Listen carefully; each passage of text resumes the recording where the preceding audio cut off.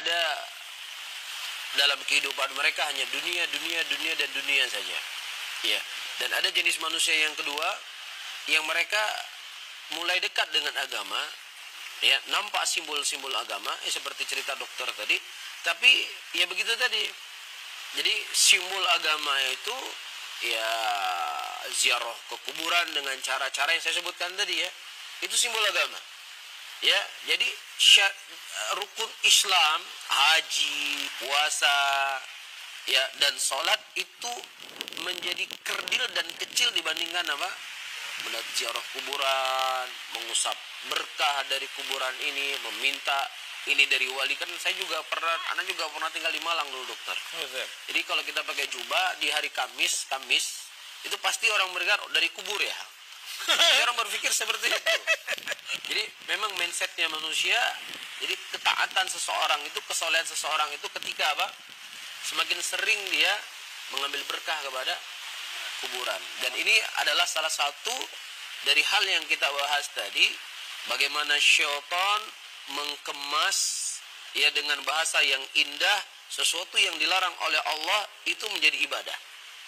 Kan seperti itu. Saya sering mem- membuat dalam pengajian logika kotoran manusia itu di blender, ditaruh susu, ditaruh Milo, ditaruh coklat, ya kemudian dimasukin ke top ke dalam uh, cup, cup ya. Kemudian ditempel mereknya, dipakein pipet. Ya, itu begitu syirik dikemas hari ini. Ya, syirik dikemas begitu indah seakan-akan itu merupakan ibadah yang sangat mulia. Ya, padahal dalam Al-Qur'an Allah mengharamkan kesyirikan dari sekian banyak ayat. Bahkan Ibnu Qayyim menyebutkan dari awal Al-Quran sampai akhir Al-Quran semuanya isinya tauhid. Seluruh para nabi dan rasul mengajak manusia kepada ketauhidan. Ya, Nabi kita Muhammad wasallam fase Mekah, fase Madinah semuanya mengajak kepada ketauhidan. Tapi karena satu kalimat yang dikemas oleh iblis dan para tentaranya, hubbus solihin. Ini sebagai bentuk mencintai orang soleh. Ya, memakan sekian banyak korban. Satu kalimat saja dokter. Nggak perlu banyak kalimat. Dengan satu kalimat cinta kepada orang soleh, syirik itu jadi ibadah. Bukan hanya jadi mubah. Kalau jadi mubah itu sudah cukup bahaya. Ini jadi ibadah. Dan menjadi al-wala wal bara dibangun di atas itu.